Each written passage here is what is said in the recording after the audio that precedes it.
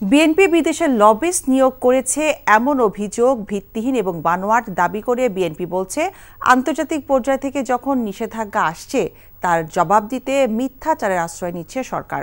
দলটির অভিযোগ, অপকর্ম ঢাকতে গত চোদ্দ বছর ধরে লবিস্ট নিয়োগ করে রেখেছে আওয়ামী লীগ সরকারই। নিরপেক্ষ সরকার ছাড়া নির্বাচন হতে দেয়া হবে না বলেও হুঁশিয়ারি দিয়েছেন বিএনপির সিনিয়র নেতারা। ইমরুল হাসানের রিপোর্ট। দলের প্রতিষ্ঠাতা শহীদ রাষ্ট্রপতি জিয়াউর রহমানের জন্মবার্ষিক উপলক্ষে তার প্রতি শ্রদ্ধা জানায় বিএনপি। অঙ্গ সহযোগী সংগঠনের নেতাকর্মীদের নিয়ে ফুলেল শ্রদ্ধা শেষে শহীদ জিয়া রুহের মাগ ফেরাত কামনায় দোয়ায় অংশ নেন দলটির নীতি নির্ধারণী ফোরামের সদস্যরা। পরে সাংবাদিকদের বিভিন্ন প্রশ্নের জবাব দেন তারা। সরকারের বিরুদ্ধে অপপ্রচার চালাতে মার্কিন যুক্তরাষ্ট্রে লবিস নিয়োগ দিয়েছে বিএনপি। সরকারের এমন অভিযোগের কোনো ভিত্তি নেই বলে দাবি করেন ডক্টর খন্দকার মোশাররফ হোসেন। তার অভিযোগ, নিজেদের অপকর্ম প্রকাশ হওয়ায় মিথ্যা গল্প এঁটেছে ক্ষমতাসীনরা। বিদেশের থেকে, আমেরিকা থেকে একটি সংস্থা এবং উচ্চ পর্যায়ের কর্মকর্তাদের বিরুদ্ধে স্যাংশন এসেছে। যখন বাংলাদেশ গণতান্ত্রিক সামিটের দাওয়াত পায় না, তখন কিন্তু আজকে এই কথাগুলো উঠছে। আগে কেন এই কথাগুলো উঠেনি?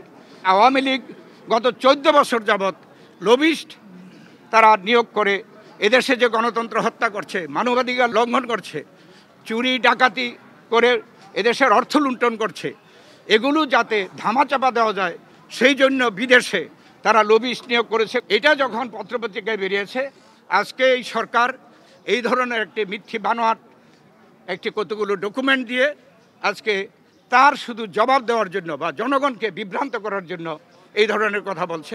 এগুলো সম্পূর্ণ বানোয়াট। নির্বাচন কমিশন পুনর্গঠনে নতুন আইন করার প্রসঙ্গে কথা বলেন মির্জা আব্বাস।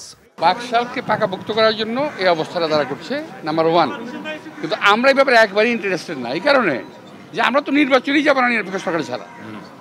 নিরপেক্ষ সরকার যদি না আসে বিএনপি কোনো নির্বাচনে যাবে না। শুধু তাই নয় সেই নির্বাচনকে আমরা প্রতিহত করব হতেও দেবো না।